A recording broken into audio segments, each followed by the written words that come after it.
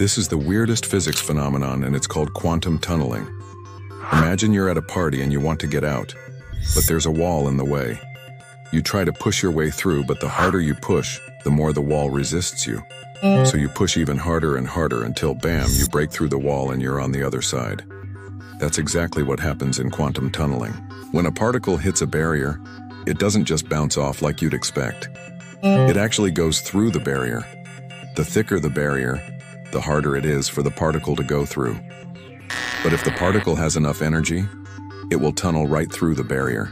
And here's the really weird part. When the particle tunnels through the barrier, it doesn't come out on the other side like you'd expect. It comes out in a different place entirely. It's like the particle teleported. This is so weird and counterintuitive that even scientists have a hard time wrapping their heads around it.